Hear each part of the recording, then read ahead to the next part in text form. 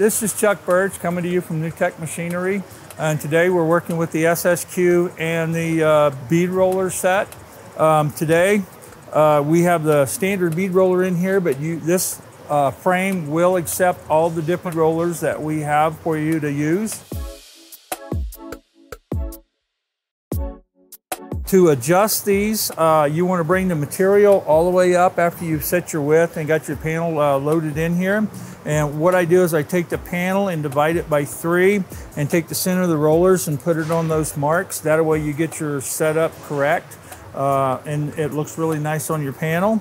Uh, to adjust the pressure on this, you want to loosen these two screws and take a, I think it's a 532nd Allen wrench and you can turn this up and down. This is on an eccentric cam.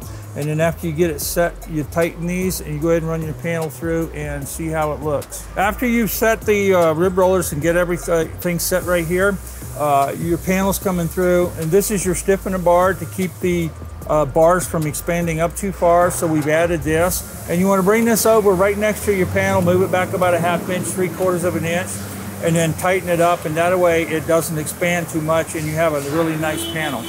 If you don't like adjusting these uh, up and down and it becomes tedious every time you set it or change your profile, uh, when you're taking it out, you can take these two bolts out here, those two bolts over there. You can take the whole rack out, put it on the bench, uh, wherever you need to put it, and then go ahead and run your smooth panels. And then when you run up, uh, go back to the uh, bead roller system, you go ahead and set this back in, bolt it back up, and no adjustments are necessary.